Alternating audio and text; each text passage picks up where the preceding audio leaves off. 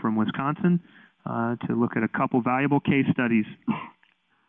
Thank you so far. And thank you, Tommy. And um, we'll let um, the computer folks get the uh, presentation up here. Uh, what we're going to be talking about today is some of the root causes behind manure spills, manure incidences, but then also look at a couple of case studies and look at how a commercial manure applicator and a farmer responded to a couple of situations as well uh, that have occurred in the past couple of years. So one of the questions that we get asked quite often is, well, why do manure spills happen? And I think we can break the causes of spills and incidences down into three primary categories. One of the more common, and we'll see this in a couple of minutes, is mechanical failure of equipment or strictly an accident. Uh, axle breaks on a tanker, um, you lose control of the tanker on the road, a hose breaks because of wear. Those kind of things are going to happen.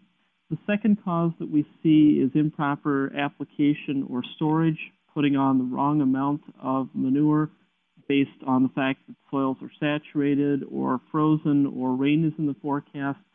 Um, all those kind of things fall into that improper application and storage area.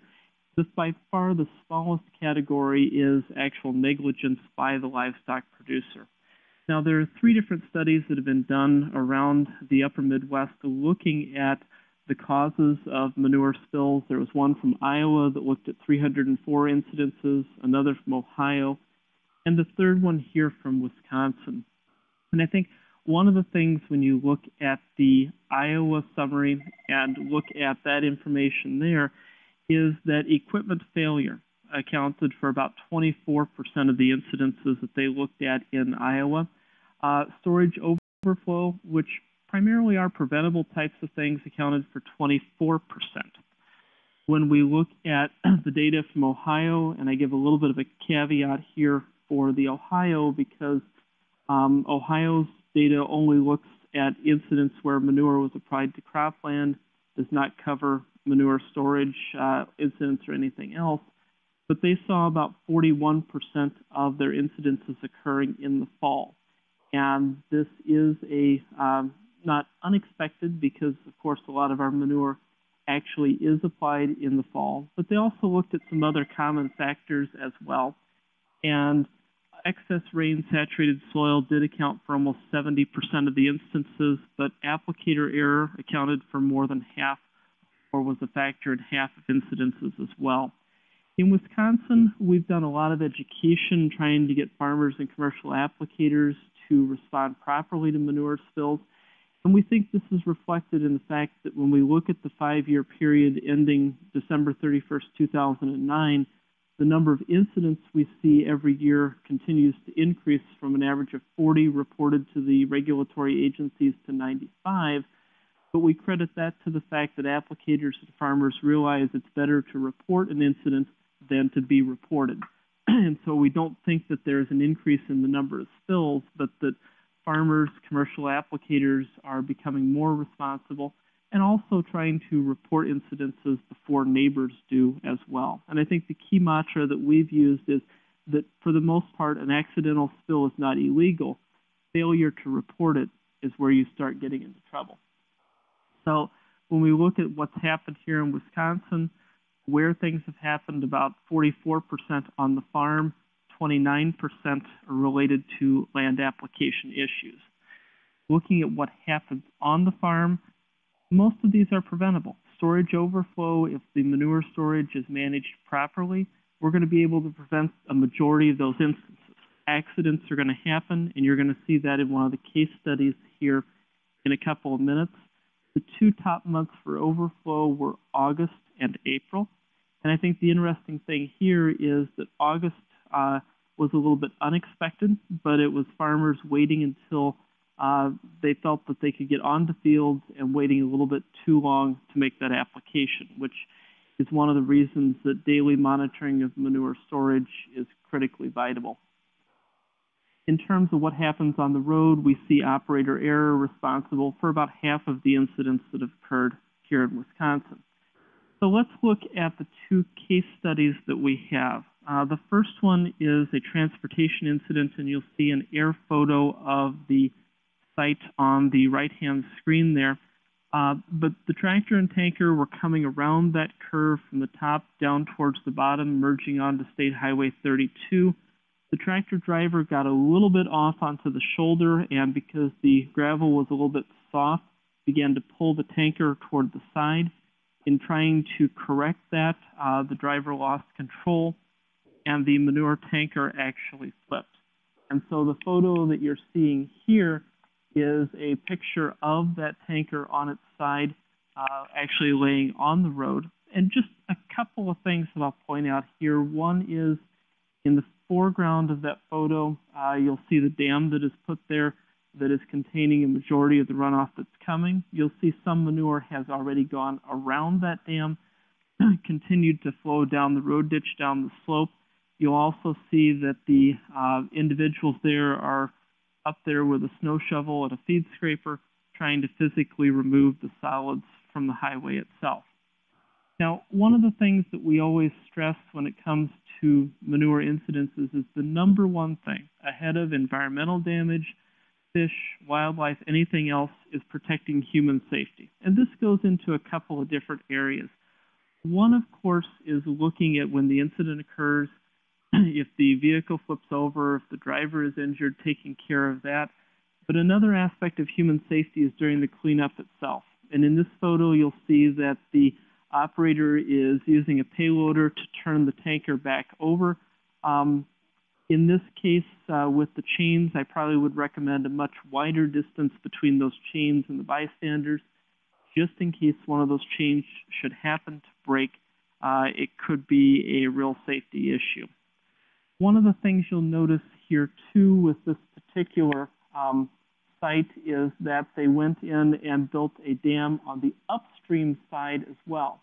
And this is kind of unique in that uh, it's something that we see a few folks doing. The reason that this was done was they were concerned with the potential of rain in the forecast, that we would get clean water coming in the site, make the cleanup more difficult, and so in both of the case studies here, you'll see an upstream dam that was built just to keep clean water clean. Um, what's happening here is that the um, farm has brought in the local volunteer fire department and they are power washing the solids off of the pavement. Once again, a human safety kind of thing. We want to make sure that we don't have an accident that's created later. But in the process of cleaning things up, we're not just washing that manure into a stream either. You'll see a downstream dam. You'll see we're in there with some high pressure, low volume nozzles trying to flush the solids off of the vegetation rather than do a full excavation. Downstream, here's another photo where we've got some straw bales in there as a dam to catch some of the water and manure that's continuing to go farther down. And this is a photo taken uh, about a week later.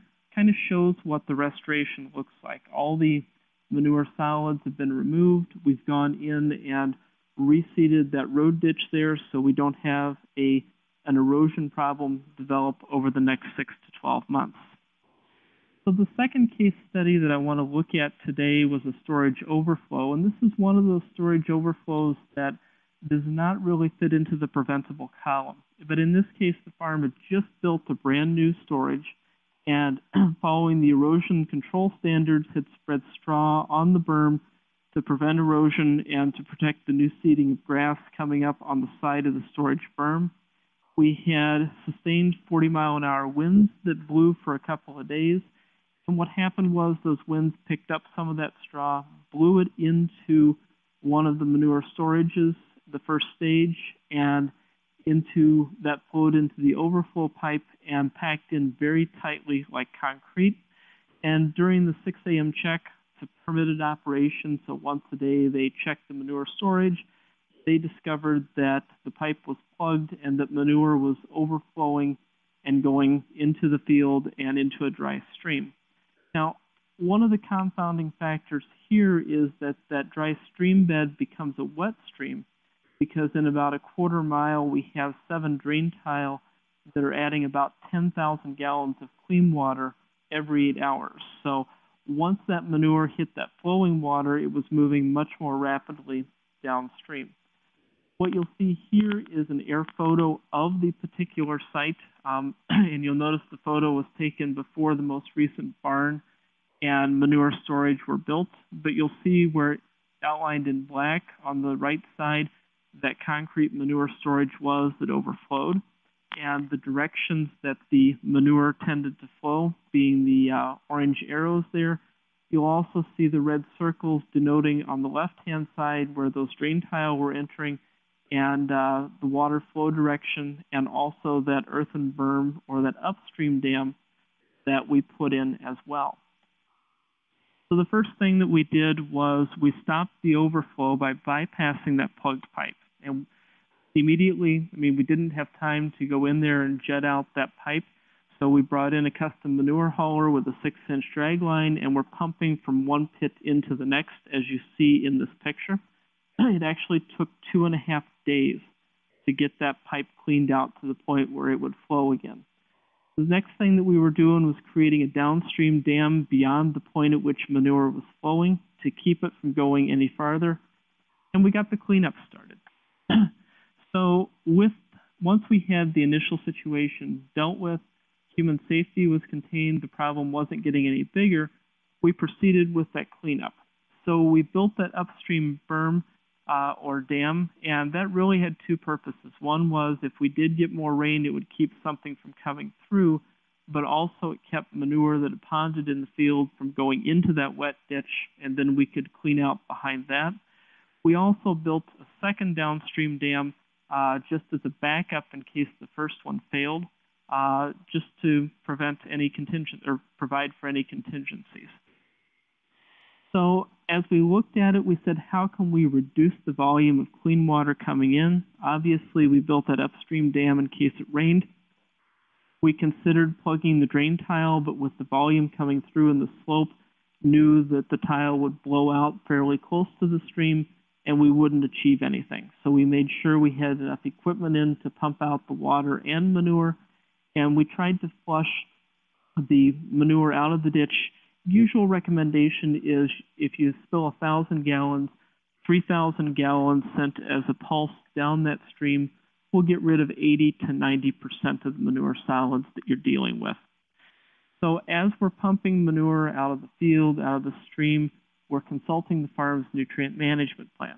Obviously, we don't want to create an additional concern, so we're applying what's coming out of the spilled area in accordance with the farm's nutrient management plan. so once we had the situation contained, cleaned up, we went in, we removed the dams that we had put in place, and the photo here shows uh, where one of those dams had been removed, uh, reseeded the areas that we needed to, and filed the appropriate paperwork with the regulatory agency. So what have we learned in looking at these case studies and looking at what's happened in the three states where we've analyzed manure incidences.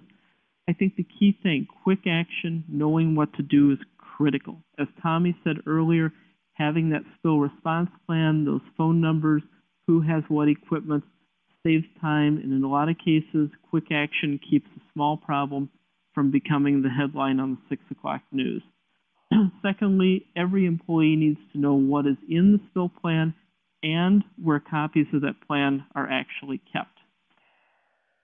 Spill reporting is mandatory in most states, and a little bit later on, we'll unveil a, an interactive map where you can click on your state and find out what the reporting requirements are and the hotline numbers for reporting.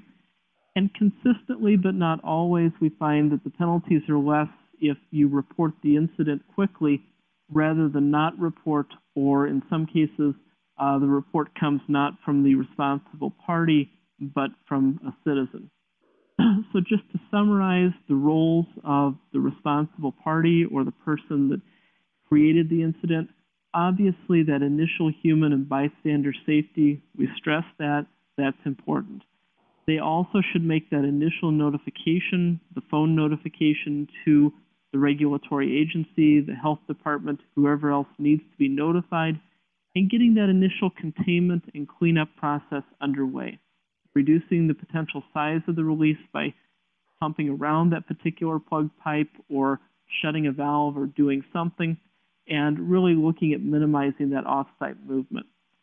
In terms of the regulatory agency and the local responders, they usually come in with a lot of resources in terms of dealing with larger situations. And a lot of times they can be useful for controlling traffic. Uh, some of the major incidents we've had with manure, one of the challenges has been people driving out to see what's going on. And so closing that road to traffic is essential in some cases and something that needs to be thought about and making sure that the site is restored as well. With that, I want to hand it off to our next presenter, Melanie Wilson from the University of Georgia, talk a little bit about